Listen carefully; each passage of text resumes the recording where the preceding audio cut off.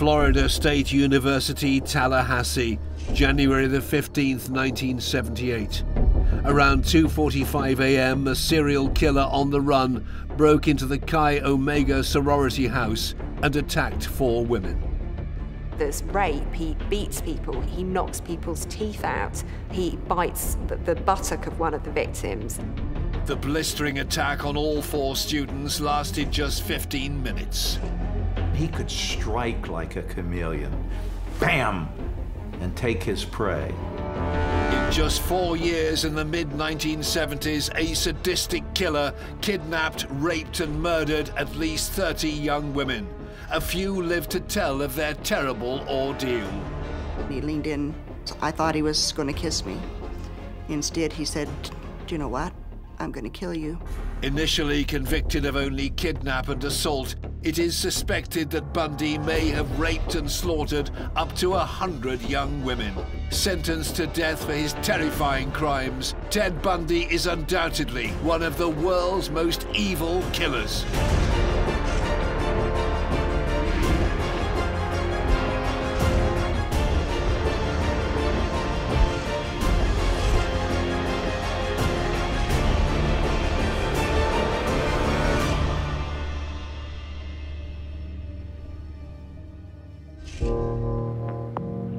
Seattle, Washington. Ted Bundy began his reign of terror in the Pacific Northwest and spread it across seven US states. He would eventually confess to the kidnap, rape and murder of 30 young women between 1974 and 1978. Two of his victims were just 12 years old. This is a man who killed in the most violent, the most terrifying way. He would, before death, he would break bones, he would rip parts of the body off, he would keep parts of the body uh, mutilated after he did it. This is a person who ravaged his victims, intending to cause pain. He was a monster because he just enjoyed killing. One of his interviews, the interviewer asked him point blank, he said, Ted, why did you kill? And Ted kind of raised one eyebrow and kind of smiled and says, because I liked it. Rhonda Stapley was a college student in Salt Lake City, Utah in 1974.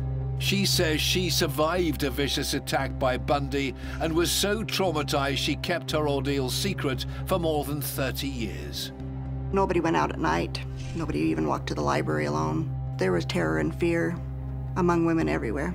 Ted Bundy was one of the most evil people in the world. When Bundy was finally caught in 1978, he was incarcerated at the Leon County Jail in Florida. Sheriff Ken Katsaris, who oversaw all the county's prisons, was charged with keeping him behind bars. He was evil, but you could not discern that, even if you knew he was evil. He came across as brilliant, charismatic, smart, so you put together the evil with all of those positive traits, and you have a very dangerous person. This killer's story begins in 1946.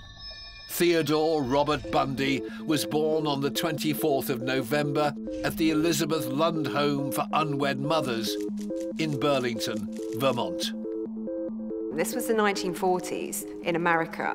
The, the ideal nuclear family was mum and dad who were married, that nice family unit where everything is very neat and, and very defined. And people who were outside of that ideal really were stigmatized. To avoid that judgment, Ted's 22-year-old mother, Eleanor, moved back to her parents' home in Philadelphia, Pennsylvania, where her parents brought up Ted as their own. The unusual part of his childhood is how he's raised. He's adopted by his grandparents. He's raised alongside a person who he is told is his sister. But she wasn't. She was actually his mother. This arrangement went on for almost four years, with Ted's grandparents as his main carers. His grandfather was quite a violent character, so that suggests to me that very early on in his life, he's almost in a bit of a survival mode. I'm not safe within this home. Just before his fourth birthday, Eleanor moved to Tacoma, Washington. There she met and married Johnny Bundy in 1951. They formally adopted Ted when he was five years old. The couple had four children together, but Ted reportedly didn't form a close bond with his new family and still believed his mother was his sister. Ted Bundy is somebody who has always been really conscious of his social class. He came from quite humble beginnings, that the family were quite poor, and, and he was really quite aware of that and really quite embarrassed and ashamed by it. An exceptionally bright student, Ted Bundy enrolled in the University of Washington in 1966 to study Chinese. There, aged 20, he met and fell in love with a woman called Stephanie. This was his dream girl. This was the woman he was going to marry. This is the woman to which he was dedicated. It was romance in the realest sense that you could imagine it. But she suddenly dumped him. One of the reasons that she cited was that he wasn't ambitious enough. And I think this would have really hit Ted Bundy quite hard because this feeds into his anxieties around his social class and, uh, and those, those feelings of unease and those feelings of not being good enough. So what we've got happening here is this resentment brewing. Bundy dropped out of university in 1968. The following year, he returned to the East Coast in what he later described as a bid to understand his roots. Whilst there, Bundy unearthed a family secret. He discovers his true identity. He discovers that the woman that he's considered to be his sister for his whole life is actually his mother. And he discovers his birth certificate, and the birth certificate says he's illegitimate. The two most important women to him, his mother and his mother's surrogate, and the woman he wanted to marry, in essence, both deny and abandon him. The significance to him of that is that women simply cannot be trusted. In 1969, aged 22, Bundy returned to the University of Washington and this time enrolled as a psychology major. There he met and started dating a single mother called Elizabeth. Their turbulent relationship would last into the mid 1970s. Women serve a function for him. They provide a roof over his head, meals on the table, sex, useful contacts with other people. So he has got quite a parasitic lifestyle. He will hook on to particular people and get from them what he wants, and then he will just discard them and move on. In 1971, Bundy got a part-time job at Seattle's Suicide Hotline Crisis Center. What he's doing is he's performing the role of the, the respectable middle-class young man. He wants to be seen to be helping other people. He wants to be seen to be doing socially worthy things. And this also feeds into to the work that he becomes involved in in terms of political campaigning. When Bundy graduated university, he joined the Republican governor's re-election campaign. Then, in September of 1973, Bundy was accepted into law school at the University of Puget Sound in Tacoma, just 30 miles south of Seattle. Before beginning the law course, he went on a trip to California. Whilst there, he rekindled his relationship with his first love, Stephanie, despite still dating Elizabeth. All of a sudden, he's a different man. He's working for the governor, he's talented, he's successful. He looks like he's good enough for her finally. Ted Bundy and Stephanie get engaged and they plan to, to get married. And, and Stephanie's very excited about this. But Ted very coldly just drops her. What this was all about was how far this man would go for revenge. To have the kind of narcissistic victory that it would not be her that rejected him, and, and then rejected her summarily. Having taken back control by ending the relationship with Stephanie, 27-year-old Ted Bundy returned to Washington and decided he needed to show womankind who was boss. Just after midnight on January the 4th, 1974, Bundy broke into the basement apartment of an 18-year-old dancer and university student. She was at home asleep in her house one night when Ted Bundy broke in and he beat her with a, metal pole and he raped her and, and she was in a really terrible state. Many people think this is something that just kind of came out of the blue, but I would say absolutely not. It didn't. I think this was an attack that was built up to. We often find with offenders there's some behaviour before they get to the point of, of raping and, and, attacking people. And in Ted Bundy's case, this was voyeurism. So he had a history of peeping through women's windows and watching them get undressed. And it's something that gradually builds, and it's not enough for him, and he ratchets it up to the next level. The violent assault left the young woman unconscious for 10 days. She sustained injuries from the blows to the head. That will cause brain damage and brain swelling. And when he sexually assaulted her with a metal bar, that caused damage to her internal organs, and she was left permanently altered by those injuries. Seattle, Washington, February 1974. It was here that 27 year old Ted Bundy attacked again and turned from rapist to killer. It's no coincidence that she's a university student who he sees as privileged, who he sees as undeserving, whereas he's somebody who's really hard done by. And it is that constant jealousy, that constant underlying feeling of shame that drives a lot of his violence.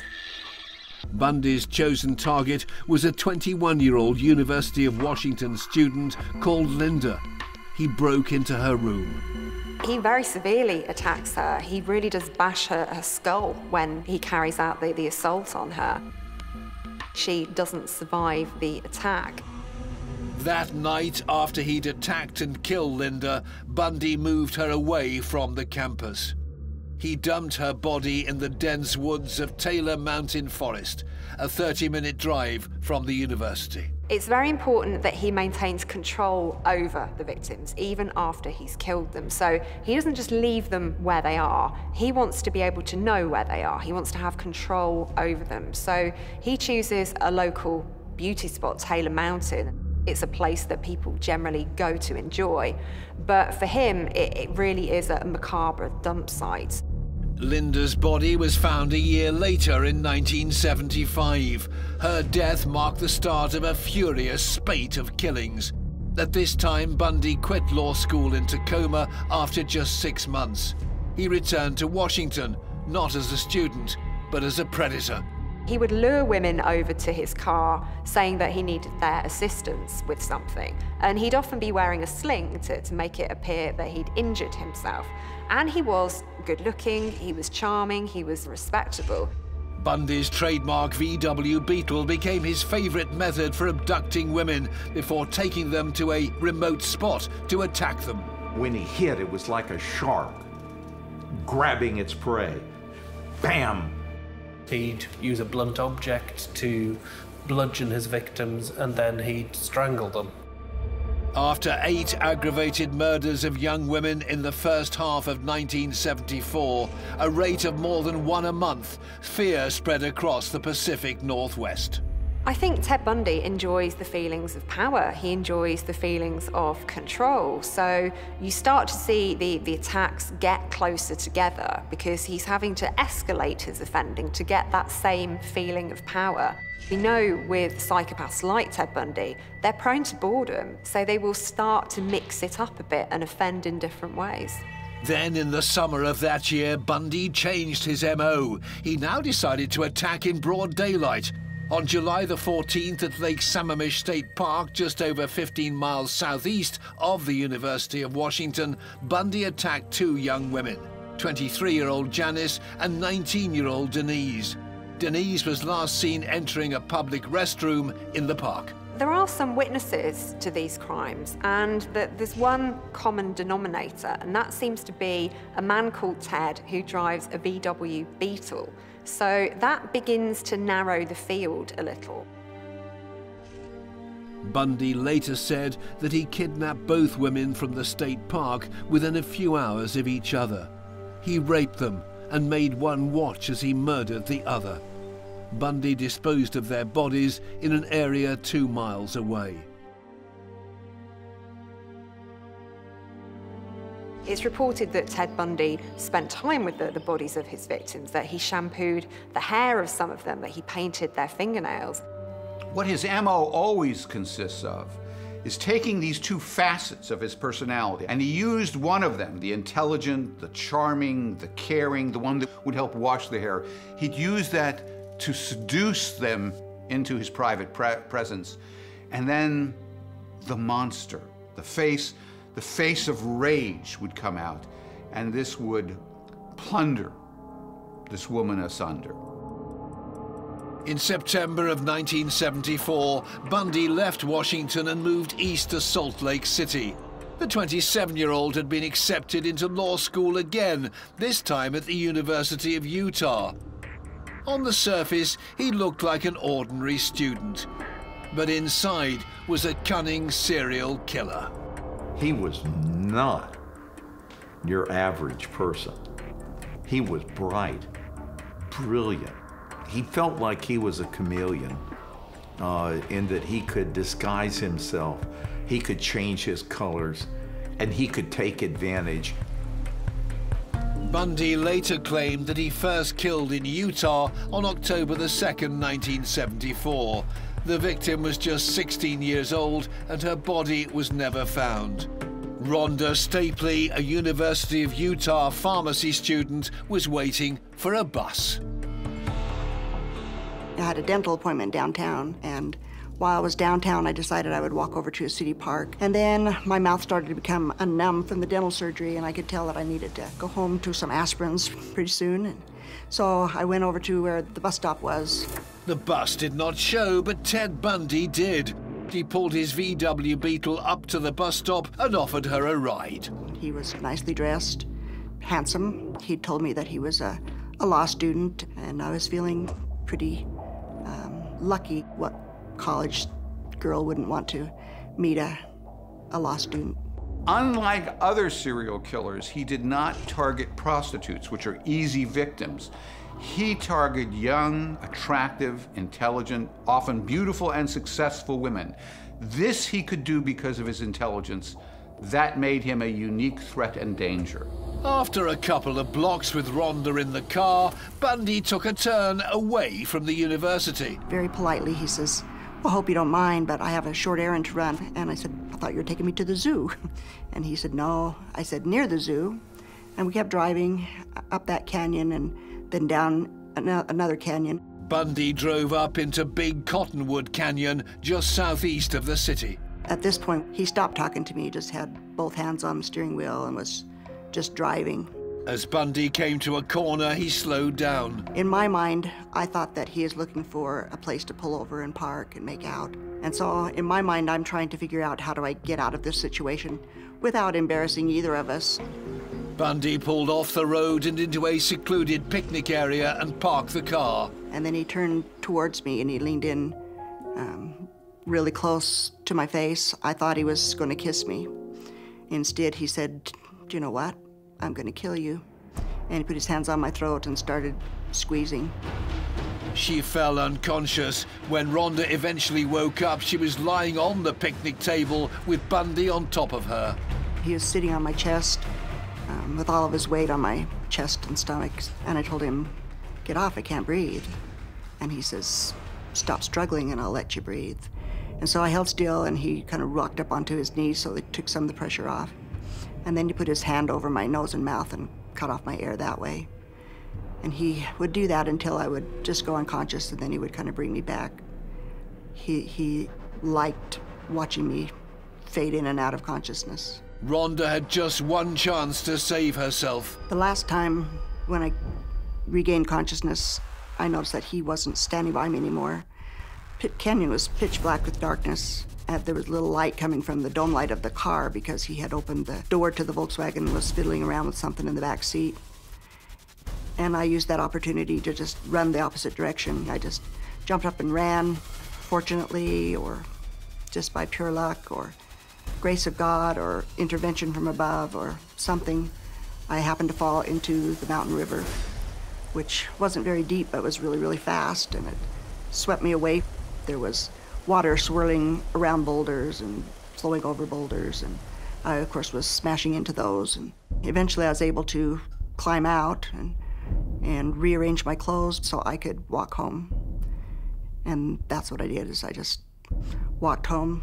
Rhonda kept her attack by Bundy a secret for more than 30 years. I felt embarrassed and stupid and ashamed, and plus I was religious, LDS Mormon girl, and the teachings at that time were that if you have a choice of losing your life or losing your virtue, it would be better for you eternally if you lost your life. So I decided the best thing for me to do was just to suck it up and pretend it never happened and go on with my life. Rhonda's escape did not deter Bundy's murderous plans. A few weeks later, in November 1974, Bundy was prowling a mall in Murray, Utah, posed as a police officer. Disguised, he managed to entice an 18-year-old telephone operator called Carol to get into his car. He planned on raping and killing her. And this goes wrong, it fails, she, she gets away. During the struggle, Carol had managed to open the car door and escape. Ted Bundy is not the kind of guy who just gives up and goes home. He's got his mind set on it. He wants to get what he wants that night. Now, two of Bundy's victims had escaped death. The next would not be so fortunate. On November the 8th, Bundy kidnapped 17-year-old Deborah as she left a theatre production. She was on her way to pick up her brother. Deborah was never seen again.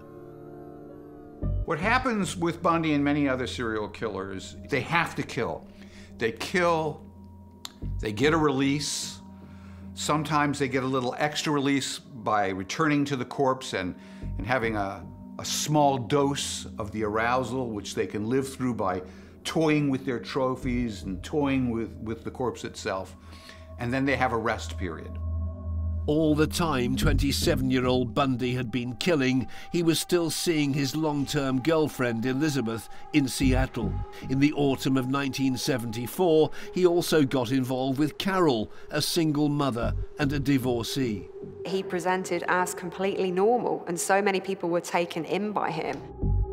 Ted Bundy had yet to appear on the police radar as a suspect, but thanks to eight eyewitnesses who saw him in July of 1974 at Lake Sammamish, the Washington State Police were on the lookout for a man who'd introduced himself as Ted and was driving a tan VW Beetle. This guy is reported to be nice looking, in his 20s, just a, an average college guy. He doesn't look like a monster, and nobody thinks that a serial killer looks like this. Police issued a composite sketch based on the descriptions they had. It was broadcast on national television and was seen by Elizabeth. She called the police. She gave them Bundy's details, as well as those of his car. But the police dismissed the tip because reportedly Bundy was a clean-cut law student. A year later, the 28-year-old headed cross-country. He raped and killed three young women in Colorado. In May, he assaulted a 12-year-old child. She'd been abducted from her junior high school in Pocatello, Idaho. Here we've got Ted Bundy seeing an opportunity and actually seizing it with not too much regard to the risk. And that's not really his previous MO. He's used that charm before. But this is quite disorganized, and this is something that will lead to his downfall. Bundy had got away with multiple murders, and despite a sketch of him in circulation, had not been identified by police. In June 1975, he returned to Utah and killed a 15-year-old girl in Provo. Two months later, Bundy was driving erratically through a Salt Lake City suburb in his tan VW Beetle when he was spotted by a Utah Highway Patrol officer. Ted Bundy is pulled over by a police officer who notices that the, the, front passenger seat is missing. There's an ice pick, there's a crowbar, there's a ski mask. And all of this looks incredibly suspicious, but Ted Bundy, being the, the charming manipulator, has an explanation for all of this. Suspicions were aroused, but the Utah police did not have enough evidence to detain Bundy for anything to do with the murders. Instead, three Utah detectives flew to Seattle, where they met up with the Washington police. Together, they interviewed Bundy's long-term girlfriend, Elizabeth. She told them that she'd found some strange items in the apartment a year earlier, including a meat cleaver and a bag of women's clothing. What happens over the course of the lives of serial killers is the time it takes them to need another killing, to need, if you will, another savage evil meal gets shorter and shorter and shorter. Their control gets less and less and less. The way they perpetrate their crimes becomes wilder and more foolish. With the FBI on his trail, Bundy sold his VW, but it was found by police. Inside, they discovered strands of survivor Carol's hair and hairs from two other women. On October the 2nd, 1975, detectives found Bundy in Utah, arrested him, and put him in a lineup. There, Carol positively identified him as her abductor. This is where he's taken his eye off the ball. This is where he started making mistakes. He's been so driven by his wants and his desires that he stopped to actually risk assess what he's doing. Unable to find enough evidence to charge him with any murders, Bundy only stood trial for Carol's aggravated kidnap and assault. On June the 30th, 1976, Bundy was sentenced to serve 1 to 15 years and was eventually moved to the Garfield County Jail in Colorado. I felt relieved that he was arrested and wasn't a threat on the street anymore. Just as police were gathering enough evidence to charge him with the murder of a 23 year old woman in Snowmass, Bundy pulled a major surprise. There's a preliminary hearing, and Ted Bundy, being the incredibly arrogant individual that he is, decides that he's going to defend himself in court.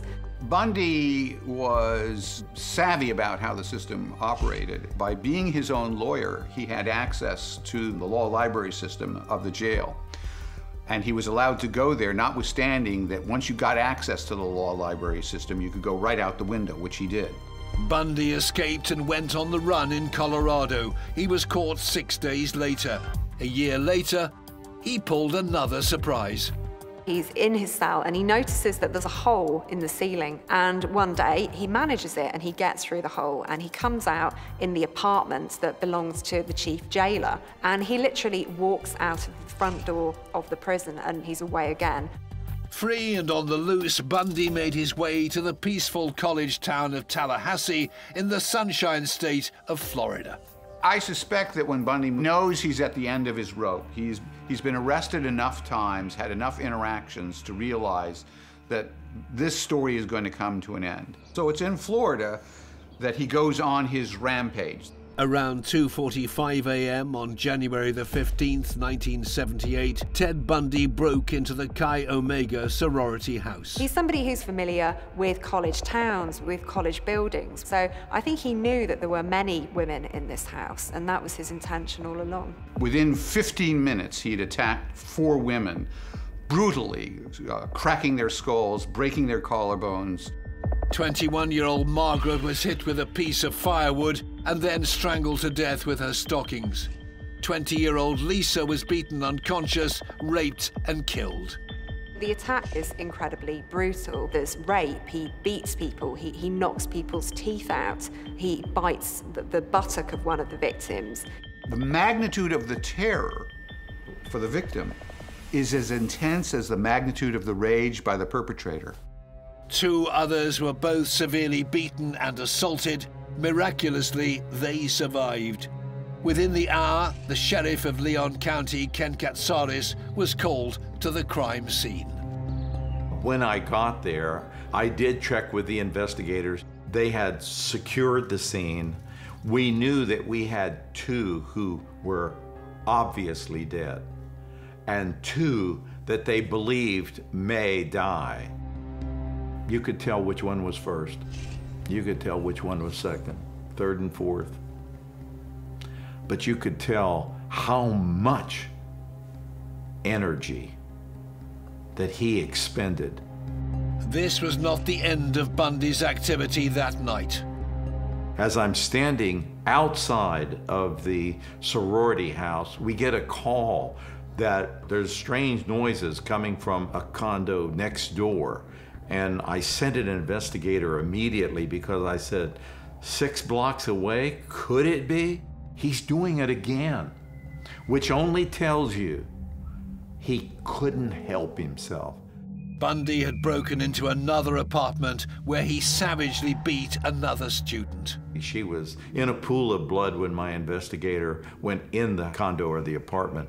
And uh, Bundy was leaving out the back window, but she tended to the, the injured first. Still free a few weeks later, Bundy struck again, this time in Lake City in northern Florida. His victim was another little girl who was just 12 years old. He is a prolific serial killer at this point in time. Serial killing is his hobby, it's his vocation. It's something that he feels that he's good at, and more so, he's getting away with it. And, and when somebody's getting away with it, they're, they're certainly not going to stop. And if anything, their offending is only going to get worse. Bundy dumped the girl's brutalized body in woods about 30 miles west of Lake City. He then stole a car and made his way west into the Florida panhandle. Three days later, on February the 15th, 1978, an alert Pensacola police officer stopped America's most notorious serial killer near the Alabama state line for driving suspiciously. He just had a gut feeling that something might be wrong. And of course, it came out over his radio after he called it in that the, the vehicle had been stolen. After a brief struggle in which the officer was forced to fire a warning shot, Bundy was arrested. He was taken to the Leon County Jail in Tallahassee, Florida. I had him in custody for over two years in my uh, detention center, my jail. I had him so locked up that he wasn't going anywhere. He not only was in a secure jail cell, but I had him in a cell that we had lined with armor plate steel in sheets that were welded in terms of the seams, floor, walls, ceiling. There was no light fixture that he could remove like he did in Colorado.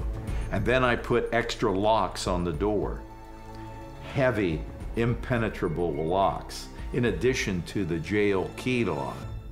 And they were in the hands of several people. When she discovered that Bundy was arrested for murder, his partner Elizabeth finally left him. At the same time, detectives in Washington state tried to build their case against Bundy and prove that he was a serial killer. Sheriff Ken Katsaris was also doing some digging of his own.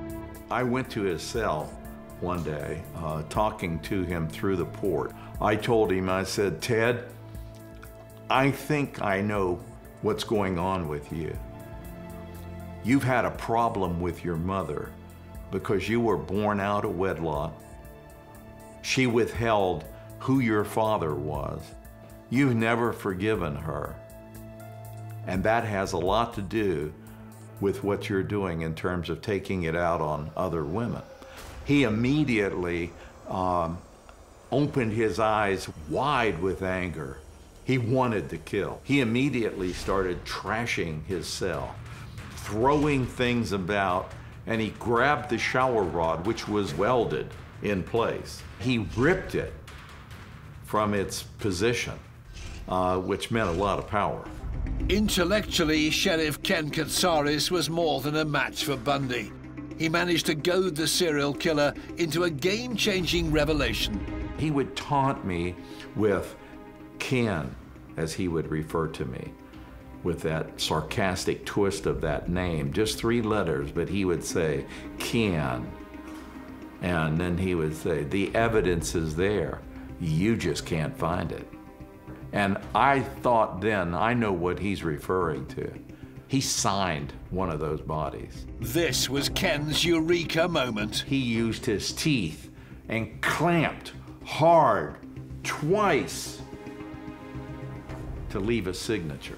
And I realized we had a very deliberate double bite impression. Double meaning he bit down and then he came out and bid again.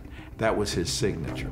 Ken Katsaris was convinced that bite marks left on the bodies of his victims were the smoking gun that would show once and for all that Ted Bundy was indeed America's most vicious serial killer.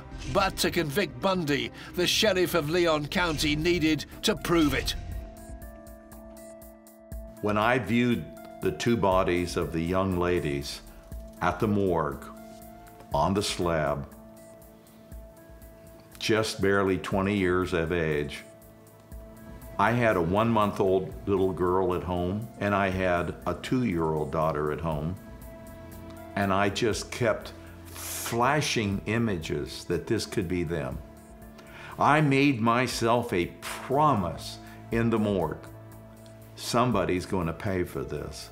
I will find this person. During his regular interactions with Bundy, the sheriff realized that in the Chi Omega sorority house attack, Bundy had left a bite mark on the left buttock of Lisa, one of the victims.